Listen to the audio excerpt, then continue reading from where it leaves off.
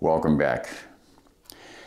Well, we're going to put these 270 Winchester cases aside for a moment, and we're going to have a serious discussion about powder selection. As I mentioned earlier, powder choice and how much you put in the case is at the top of the food chain. There's a hierarchy to accuracy issues, and that's at the top. Everything else is subordinate to that. The primer selection, bullet seating depth, case neck turning, deburring of flash holes, no matter what else it is, everything comes after which powder you put in the case. That's the propulsion for your bullet to get downrange, and it stands to reason that if you don't put the right powder in, if you don't put the right correct charge in, you're going to have difficulties with accuracy and performance. You may not be getting the velocity that you want. So, or you may have dangerous pressures. You may have you may have all kinds of issues. So we have to have a talk about powder selection. I did a special video on powder selection some time ago, but we're talking about accuracy ammunition, so I want to delve into that again. It's not, it's not a complicated issue. Um, very frequently, people you know, they'll ask, they'll ask somebody else, might be somebody, somebody in the family, they'll ask that has had uh, good success with a given cartridge. They might go online and they may just sim simply go to a blog site and type in the question, and everybody's going to respond with their own, with their own uh, particular recipe. First of all, the, the first standard rule is you never ever, under any circumstances, use anybody else's load without verifying that it comes from a legitimate source. In other words, from a powder manufacturer or a bullet manufacturer's published data. Even, even going to a magazine and, and seeing a load that's written in some writer's article, it may be a misprint. You, you've got to be very, very careful, and, and it may not be the best load in the world at all. It certainly might be a dangerous load, even if it comes from a recognized author. Always verify it with published loading data from a reliable source. And I don't mean published because somebody, some other individual published it, but I'm talking about something from a laboratory source.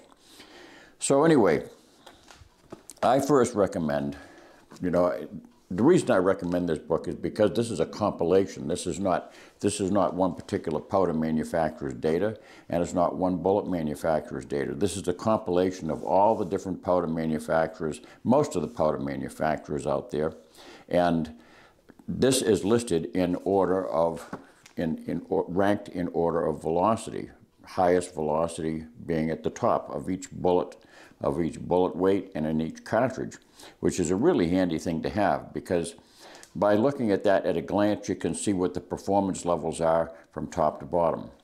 And what's most important, and I'll show you what manual this is. This is, this is the I think this is probably about the latest uh, publication, but this is uh, the uh, Modern Reloading by Richard Lee. Um, I use all sorts of books, but when I'm trying to develop a particular powder charge, uh, and I, you know, I've never worked with a cartridge before, or maybe I want to try a different powder, this is a source I go to.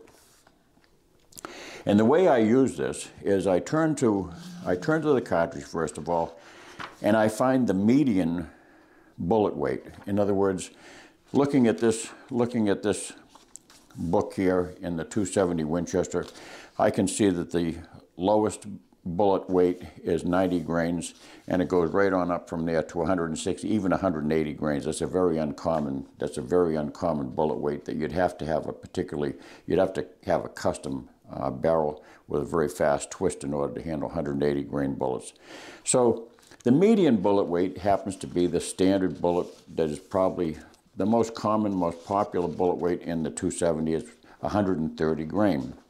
If you're talking about a 30 caliber bullet like the uh, 308 or the 3006, you're probably talking 150, 165 grain bullets. Those are the median weight bullets because the, you know what you're what you're looking for is a powder that will span the bottom to the top range of bullet weights. Throughout, the, throughout all the bullet weights that are usable in that cartridge, you're looking for the powders that will serve not necessarily the best for each of those bullet weights, but the powder that's capable of propelling each of those bullet weights without either being too fast or too slow. Within that particular group of powders, you're going to find the powder that is probably going to give you the top accuracy. Not only that, it comes with a bonus that if you should change bullet weights, all you have to do is go to your same powder and you, have got a handy powder all, already available. Again, it may not be the very best, but at least it's a very, very universal powder for that cartridge. So, if you, if you check if you check the median bullet weight, in this case it's 130 grain bullet weight, you're going to find that certain powders do appear across the chart.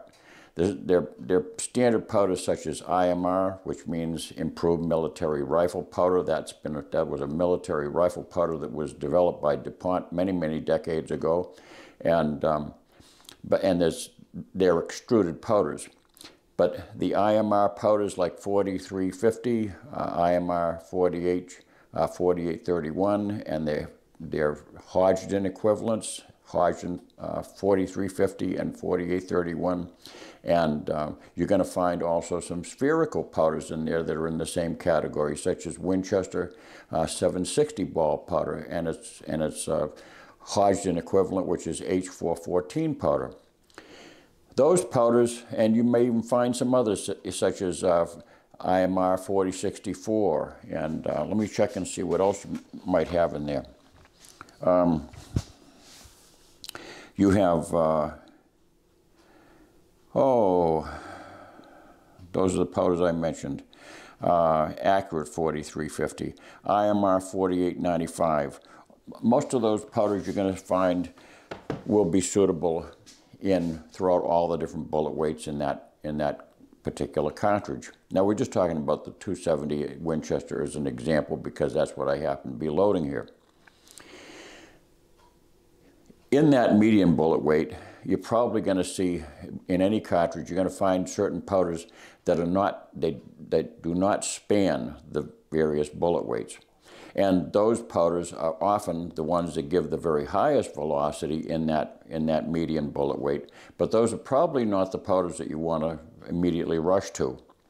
Um, if, we, if we're talking about accurate, accurate uh, charges, you're talking about a, a, powder which is inherently versatile within the cartridge, so that it's not fussy.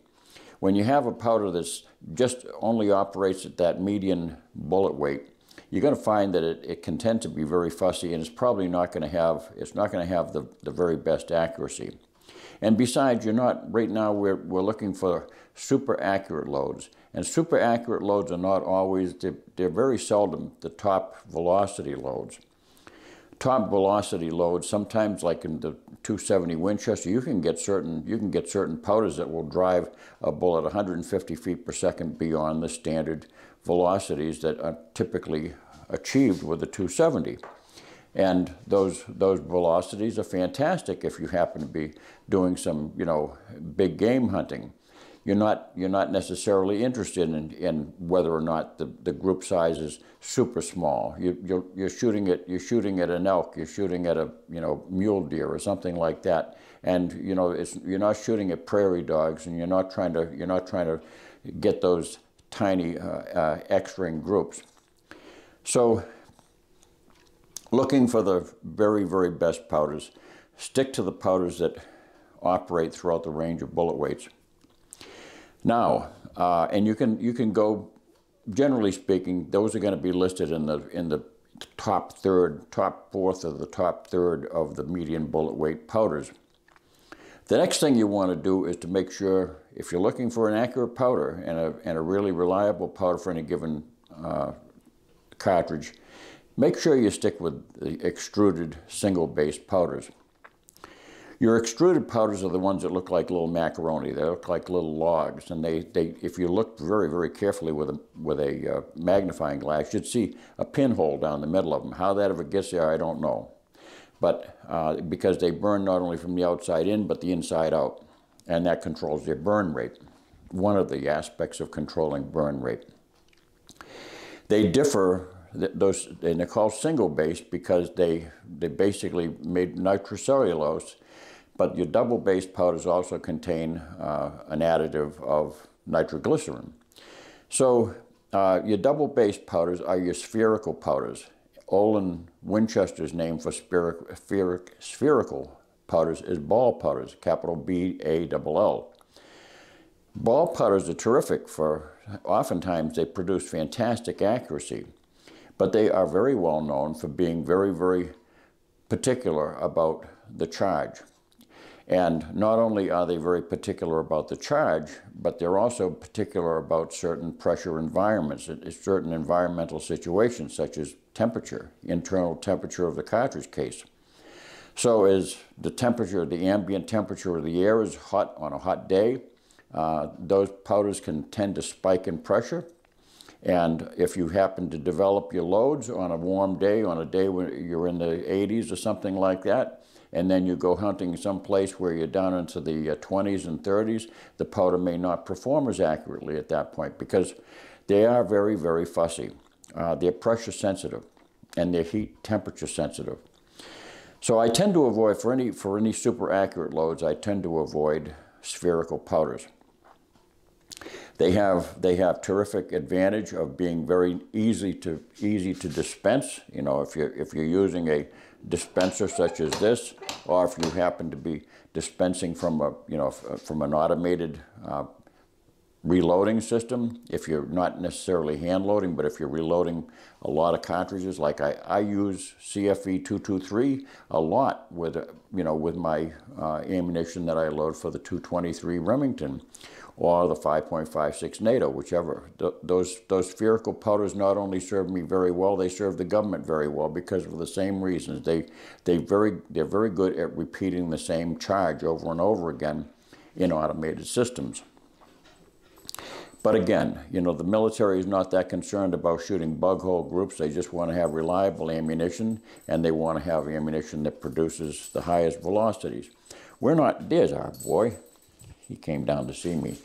Um, so we're looking for super accurate loads, and super accurate loads are generally found with the with the extruded powders, single base powders, and uh, th those have been historically the popular powders amongst the, the you know the guys that sit at the bench and they're shooting at 100 and 200 yards. They're not trying to hit gongs. They're not trying to they're not trying to score X rings. They're trying to they're trying to put all the bullets into one particular hole, the size of the bullet. And those are the powders that have been traditional for those for those shooters. And their names are legendary. You know, IMR 4064, uh, 4198, 4350, 4831, all these different powders that they use. And there's some new there's some newer uh, powders out there that uh, Hodgdon has developed for the bench rest community. And those are all terrific and they're all designed to have those stable qualities especially uh, heat insensitivity, so that they're not, so they don't range off the charts just because it happens to get to be a, a 95 degree day during a competition. Um, we'll talk about how to uh, put the uh, charges together. Um, if you know, you you could be one of two different sorts of individuals that I'm talking to. You may already have a, a powder charge and a particular powder that you're fond of, and all you're trying to do is, is to fine tune the loads with all the other different things that I've been showing you. But for the person who hasn't yet developed that load, uh, you can follow the recommendations that I've given previously, and I'll just briefly describe. Uh, segregate your segregate your brass uh, in groups. If you got if you got 20 cases, segregate the, the brass in groups of four. I like four because that gives you three to shoot into a group, and it gives you one extra in case you happen to drop one out of the. Just you, you just you know that you pulled the trigger wrong, uh, you you jerked it or whatever, or you, you your bag slipped or something. You, it gives you an extra one. And it also gives you, what I, what I like to have is an extra one so I can fire a composite group. It's a, it's a real confidence builder. Because if you got, if you got five different charges, incremental charges going up in, in graduations of uh, weight, if you got five of them and you take one from each of that, from each of those uh, groups and fire them into one group and you find that you have a really nice tight group. What does that tell you? That, That tells you that even if you should, even if your, your, your loading process isn't as exacting as you'd like it to be, even if you think that maybe, uh, you know, I, I I, I might not have gotten all those grains of powder exactly the same. You'll, you'll see quickly that, you know, if, you, if, if each of those uh, charges varies by a half a, a half a grain, and yet they all went into a tight group, that gives you the great confidence to know that that's a super accurate load. So we're not looking, uh, we're not looking to have variations like that, but that's the sort of thing that's nice to know. You won't find that with ball powders. Spherical powders, if you, if you grab, if you grab one charge, if you grab one cartridge from each of those charges and fire them into a uh, composite group, you're probably going to be all over the place. You're going to have a large group because that's what they do. They fire here, the next one they fire here, the next one they fire there. They're very, very sensitive. And the other thing is, too, that what shoots in your rifle may not shoot in your brother's rifle. It may not shoot in your sister's rifle. It may not shoot in your buddy's rifle. Even though they have exactly the same cartridge, they might even have exactly the same model rifle variations that are very, very fine uh, that, that have to do with just barrel taper, barrel length, uh, barrel weight. All those things affect the harmonics of the barrel and how that bullet emits from the end of it. So don't ever expect that whatever whatever load has been the, the family classic for dad's rifle for the last 50 years, doesn't, that doesn't mean that your rifle, even though it's the same exact model and brand, doesn't make any difference. It may not work. It may. You may find that, as, as uh, I have found with, with my rifles and my wife's and my brother-in-law's and my dad's, sometimes the same powder will work, but not with the same exact charge, maybe by going up or down a half a grain of powder. And you get the same, basically the same results, but with a totally different charge, and that's because of the harmonics. There's nodes and overtones that occur with, with, powder, with powders because of the velocities. As the barrel is vibrating, there's secondary and primary over, overtones and uh, vibrations. That bullet, that bullet has to be basically timing itself down that, down that track, down the bore. And if, if, that, if the timing of that vibration doesn't match the timing of the bullet's travel down the bore, it's just not going to come out at the, at the accurate moment. And another thing too is that you'll find that most powders will have will have two or three. you you can find two or three different accurate loads. There's sometimes one that's a primary accurate load. That's the very best of all. But if you take if you take a series of if you were to take a series of five shots, I think is good for the average shooter because you basically uh, take the highest, the highest charge that is listed in the uh, manual, but you start with you start with a charge which is five loads below that. That's where you start. You, you work from the charge that's five loads below that, and you work up. And as I've told you before, always do it in pro direct proportion to the size of your case. And you do that very simply. Uh, for a case that holds 50 grains of powder, a 50 grain, 50 grain charge, you, you use a half a grain. In other words, just move the decimal point over two places. So you use a half a grain, 0.5. If it's a 30 grain capacity charge, the maximum charge is a 30 grain charge, then it's 0.3. You move the decimal point over, it is 0.3. Each increments is 3 tenths of a grain. And if it's a 60 grain uh, top capacity charge for that powder, not for, not for don't look at the average powders, but for that particular powder, if you happen to be using uh, IMR 4064 and the top load says that it's 60 grains of powder, then you use 0.6 grains as an increment. Don't, don't fuss around with anything smaller than that because you're basically chasing your tail. You can, you can, find, you can find which, which one of those loads is going to perform the very best, and then once you found the one that performs the very best, then you can see maybe if there's one side of the, the other of that charge that will work better by, by moving it, uh, say, three tenths of a grain off of a six tenths of a grain increment. So that, that can give you a finer, a, a finer tune on that. So that's how you do that. In the next, in the next video, we're going to actually charge these cases up, and uh, then we'll proceed to start seating bullets. To all my Patreon donors, thank you so much for your for your assistance. I've got quite a few uh, helpers out there that are keeping me going so that I can buy the components necessary to do this. And uh, you know, things are getting tough right now financially, as everybody is finding out. So uh, it's it's uh, it's having an impact on how much I can produce and you know how much how much I can uh, manage to get produced with the type of equipment that I and the amount of equipment that I have. So thank you very much, donors.